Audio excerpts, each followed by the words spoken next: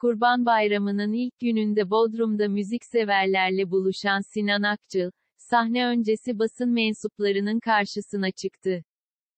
Nasılsınız? sorusuna, her şey yolunda. 3 yıldır burada happy hour yapıyorum.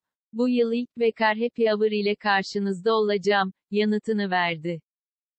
Burcu Kıratlı ile iki kez evlenip boşanan ünlü şarkıcı, bekarlık sultanlık mı sizce, sorusu üzerine, valla bekarlık yerine göre sultanlıktır bence, şu anda ben sultanlık dönemindeyim. Madem bekarım o zaman sultanlık köşküne çıkayım. Yani öyle değil mi, ifadelerini kullandı.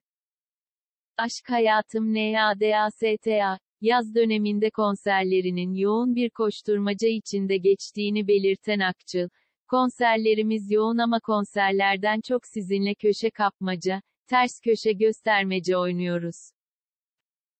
Geçen ay yine birkaç haber okudum yanlış yerlere bakıyorsunuz Ç küçükken. Sıcak soğuk, oynardık. Şimdi de sanki sizinle de sıcak soğuk oynuyoruz. Bir yaklaşıyorsunuz tahminler sıcak sıcak oluyor ama şu an Nadas'tayız. Aşk hayatım Nadas'ta ama bir süre sonra bu tarla sürülür, diyerek kahkahayı patlattı. Bir daha hakimin karşısına çıkmaya yüzüm yok, Aleyna'yı aradım.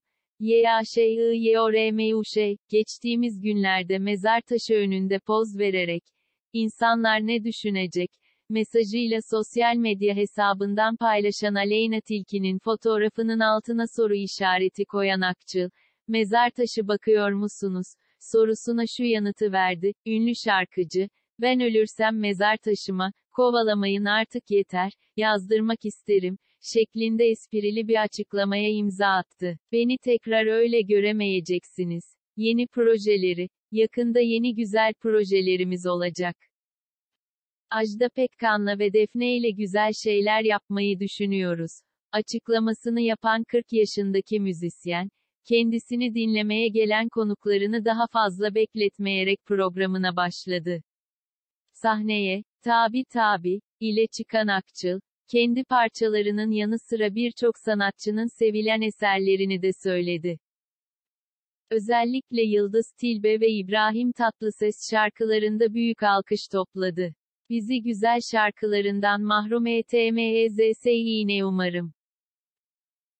Kendisini dinlemeye gelen misafirler arasında Melek Mosso'yu gören Sinan Akçıl, bizi güzel şarkılarından mahrum etmezsin umarım, diyerek, meslektaşını sahnesine davet etti.